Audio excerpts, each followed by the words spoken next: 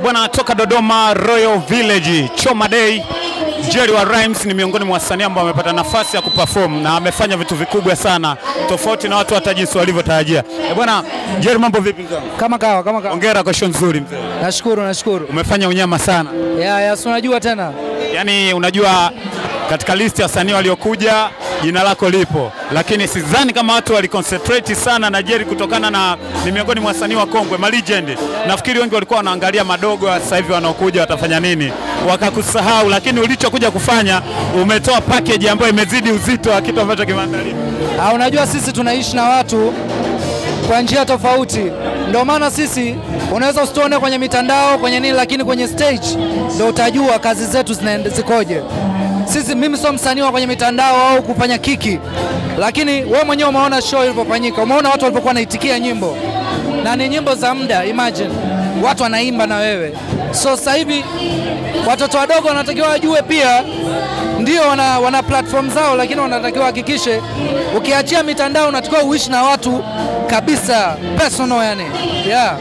Legend wengi waliofanya mziki zamani wakipewa nafasi ya kuperform kwenye jukwaa yani watu wengi wanadis kwamba wanazingua, yani inawekwa payback, afu yani anakuwa kama tu anaimbisha watu, piga kelele, piga kelele, lakini wewe umeimba na watu, unajua yani umefanya kitu, unaimba na watu wanaitikia, unaona mapokeo. Unawezaje kumaintain hii kitu mzee wangu, wakati wewe ni miongoni mwa hao hao ma legend? Ano, ni kutengeneza ngoma nzuri inayoishi. Ukitengeneza ngoma inayoishi, hata usipoperform ukaja ukaperform baada ya miaka kumi, watu wanaimba na wewe. Nyimbo zangu nashukuru Mungu ni nyimbo zinaishi, wa- watu wanakuwa nazo. Kwa hiyo ndio maana uko unaona watu wanaitikia, kwa sababu ni nyimbo zilikuwa nzuri, sio nyimbo za muda tu, sio zile nyimbo wanaita bubblegum songs, ni nyimbo ambazo zinaishi, ndio maana watu wakuwa wanaitikia. Mfano I love you. I love you ni moja ya ngoma ambayo ni ya kitambo sana, sijui inafika kama miaka mingapi? Miaka kumi mingi mno, lakini leo ume, umeperform yani kama vile ndio umetoka jana. E bwana, big shout out sana. Nashukuru sana, nashukuru sana. Sasa wasanii wa zamani ama ma legend kama nyie kina Jerry wa Rhymes, tunasema kurudi kwenye game inakuwa ni shida kidogo, yani unakuwa unatumia nguvu nyingi sana mpaka urudi kwenye game. Wengi wamejaribu lakini wameshindwa. Mipango yako wewe Jerry kama Jerry, kurudi katika game ili tuanze kukuimba tena, turudi tena kumzungumza Jerry ikoje? Eh bana mzee, mimi nikwambia kitu kimoja, hiyo mentality ya kurudi kwenye gemu, wanaoshindwa ni wao ambao unajikuta msanii umeshaendekeza mambo ya ulevi, mambo ya kula maunga manini, watu wanakuchukulia hivyo, lakini mimi umeniona najiheshimu. Hata nikitoa ngoma leo, trust me, nikiimba ndani ya miaka kumi watu watakuja kuimba kwa sababu najiheshimu, naheshimu mashabiki zangu na natengeneza ngoma nzuri. Kwa hiyo ndio maana mimi siwezi kupotea mpaka niwe kikongwe.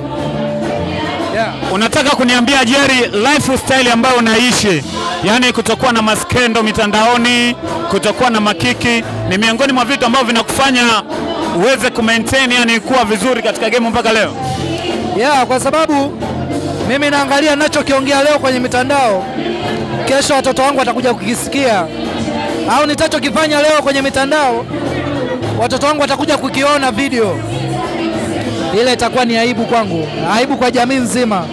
Kwa hiyo najaribu sana kujiheshimu na kuheshimu media na kuheshimu mashabiki zangu, kwa sababu mashabiki zangu nimewatengenezea mazingira. Mimi ni msanii wa aina hii, na ndio maana leo hii umeona wadada, watu wazima wanakubali, wanaimba, wanashangilia, kwa sababu tayari nishaiwekeza hiyo tokea mwanzo. Yeah. Yes, watu wameitikia mziki wako na tumeona, hongera sana. Respect sana, nashukuru. Kuna tofauti yote unaiona labda kwa ukubwa sana kati ya kipindi ambacho mlikuwa mnafanya vizuri nyie na kipindi hiki ambacho mziki umekuwa ni wa timu?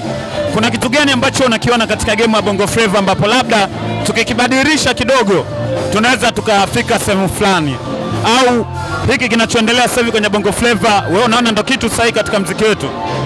Kitu ambacho kinatakiwa kwa, kwa, kwa mawazo yangu, nafikiria sasa hivi wasanii wanatakiwa wajue kwamba wasiamini kwenye kutengeneza attention. Sasa hivi wasanii wengi wanaamini kwamba ngoja nifanye kiki ndo niende. Mimi nataka wasanii waamini kwenye vipaji vyao, wawafanye mashabiki wasiamini kwenye kiki kiki zao au attention, waamini kwenye kipaji chao. Yaani watu waseme da, yule mtoto anaimba, tumsaidie mpaka atoke.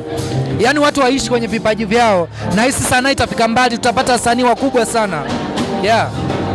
Tusubiri project yoyote labda ulionayo ambayo umeandaa ya kukurudisha katika game wewe kama Jerry, kwamba watu tukae sasa, tunajua kabisa kuna time fulani Jerry wa Rhymes anakuja upya. Kwa mashabiki wa zamani kama sisi ambao tulikuwa tunakufuatilia enzi zile, ili tuseme kwamba sasa bro anarudi tena kwenye game. Ipo project yoyote umeandaa hivi karibuni? Yeah, nilikuwa niko Arusha lakini sasa hivi nimerudi da So nimeanza kurekodi nyimbo, nataka niwe na nyimbo kama kumi ndo nianze kwa, nianze kwa, kuachia.